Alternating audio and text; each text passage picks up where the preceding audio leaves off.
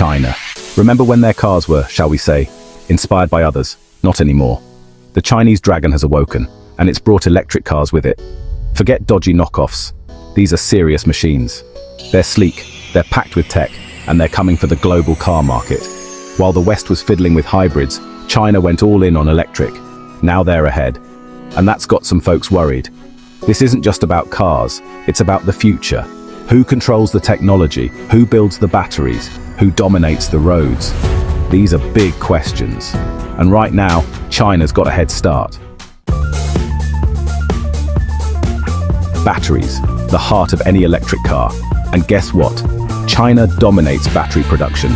They've invested heavily, built huge factories, and secured the raw materials. It's simple economics. They control the supply chain, they control the prices. This gives them a massive advantage in the EV market. Cheaper batteries mean cheaper cars, and that's a tempting proposition for consumers. It's not just about quantity though. Chinese companies are innovating, pushing the boundaries of battery technology. Longer range, faster charging, higher performance, they're ticking all the boxes. Let's face it, price matters. And this is where Chinese electric cars are really shaking things up. They're significantly cheaper than their Western counterparts, sometimes by tens of thousands of dollars. For the average car buyer, that's a huge difference. It makes electric vehicles attainable for a much wider audience, not just the wealthy few. This price advantage is putting pressure on Western car makers to either lower their prices or risk being left behind. It's a classic case of disruption. China is undercutting the competition, forcing them to adapt or die. And in the cutthroat world of the auto industry, that's a serious threat. Of course, no discussion about electric cars would be complete without mentioning Tesla. The company has revolutionized the automotive industry with its cutting-edge technology and sleek designs. Elon Musk's company has been the undisputed leader, the gold standard of EVs. From the Model S to the Model 3, Tesla has set benchmarks in performance, range, and autonomous driving capabilities. But even Tesla is feeling the heat from China. Chinese companies like BYD, NIO, and XPeng are not just catching up. They are pushing the envelope in innovation. These companies are producing high-quality electric cars that rival Tesla in terms of technology, performance, and design. Their interiors are luxurious, their exteriors are stylish, and their tech features are state-of-the-art. And yes, they're doing it at a lower price point. This affordability is making Chinese EVs increasingly attractive to consumers around the world. Tesla is still a formidable competitor with a strong brand and loyal following. Its supercharger network and over-the-air software updates keep it ahead in many aspects. But the Chinese are coming, and they're coming on strong. Their rapid advancements in battery technology and autonomous driving are noteworthy. The battle for EV dominance is heating up, and it's going to be fascinating to watch. As both sides innovate and push boundaries, consumers stand to benefit the most from this fierce competition. Europe has been a leader in promoting electric vehicles, with ambitious targets for adoption and generous subsidies for buyers. But, you know, as Chinese EVs flood the market, it's creating a dilemma for European policymakers. On one hand, they want to encourage the switch to electric mobility, on the other hand, they're wary of becoming overly reliant on Chinese technology and manufacturing. It's a delicate balancing act. Some argue that Chinese competition is a good thing, driving innovation and lowering prices for consumers. Others fear that it could undermine European car makers and lead to job losses in a key industry. Section 6. American muscle meets Chinese innovation. America, the land of gas guzzlers and muscle cars, has been slower to embrace electric vehicles than other regions. But even here, the Chinese influence is being felt. Chinese companies are setting up shop in the US, building factories and dealerships. They're bringing their affordable EVs to a market that's been dominated by expensive Teslas and a smattering of other options. This is causing some anxiety in Detroit, the heart of the American auto industry. Can American car makers compete with the Chinese onslaught? Or will they be left in the dust of this electric revolution? Section 7. The Future of Driving. Is it electric and Chinese? As we stand on the brink of a new era in transportation, the question looms large. Will the future of driving be dominated by electric vehicles from China? So, what does the future hold?